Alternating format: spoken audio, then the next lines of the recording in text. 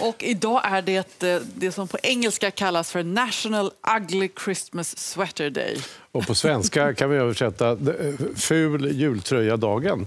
Och eh, där har vi en självutnämnd expert, nämligen Henrik Torehammar, som vi har med oss här.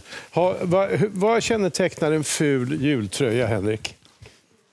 Nej, men det ska ju vara det här lite amerikanska. Jag vet inte om ni till och med hör att det ska, liksom vara, det ska vara smakfullt, det ska vara plastigt, det ska vara mycket. Du ska kanske ha något till och med på huvudet här i Gistanäs.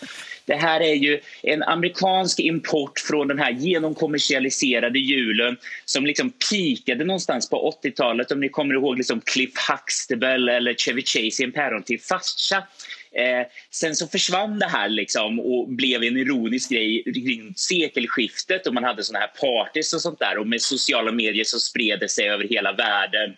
Och sen så plötsligt så blev det en kommersialiserad grej där nu är det ju massa kedjor som säljer just såna här fula, smaklösa tröjor. Ja, för det första så är inga tröjor med katter på Eh, fula per definition. Eh, sen, vad tror du det är för behov som vi lever ut eh, när vi sätter på oss de här tröjorna?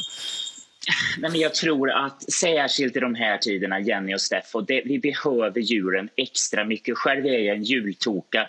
I vår politikpodd så har vi, vi har kört julkalender. Jag har klätt ut Thomas Ramberg i renhorn och just det här året så är det extra viktigt att gå the extra mile tror jag. Vi behöver fly bort lite och sen så ska man liksom man behöver ha det kul. Och allt behöver inte vara så himla vackert och ernstigt och sådär. Utan det får vara lite Ja.